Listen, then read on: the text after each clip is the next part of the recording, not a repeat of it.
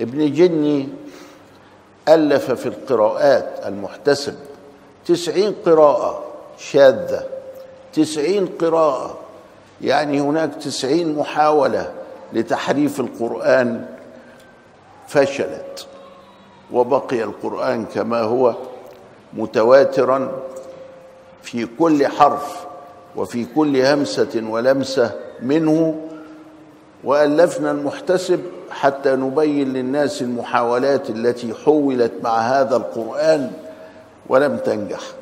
بالرغم أنها محاولات قد تكون ذكية لأن القراءة الشاذة قد تكون معقولة المعنى أو أنها لها معنى أو أنها تحل مشكلة. وبالرغم من ذلك بقي القرآن كما أنزله الله سبحانه وتعالى على قلب نبيه وبقيت تلك الأخطاء أو المحاولات عن قصد أو عن غير قصد محفوظة للعلماء يبينون عوارها ويبينون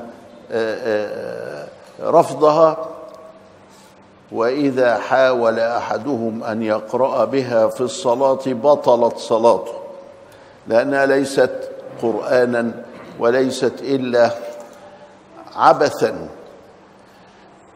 يرفض ولذلك لا يجوز القراءة بها في الصلاة ولا في غيرها إلا على سبيل المباحثة وأنه يقال أو حاولوا أو أن ما هذا أو أو هذا خطأ إلى آخره.